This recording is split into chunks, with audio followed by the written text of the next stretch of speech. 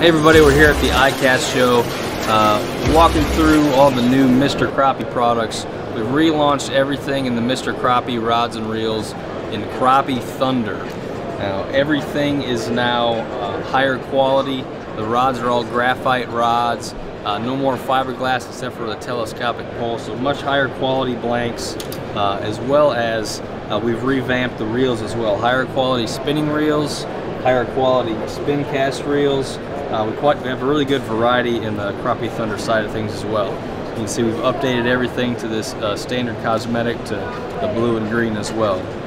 Wally's really excited about uh, overhauling this entire uh, line of Mr. Crappie Crappie Thunder products. So we have standalone rods everywhere from uh, five foot spinning rods all the way up to 10, 12, 14, 16 jigging rods and trolling rods. Uh, pretty much everything you would need for crappie fishing. Uh, we also have standalone spinning reels, jigging reels, and spin cast and underspin reels, as well as combos for everything we just mentioned as well. You can check out everything at lews.com, available this fall.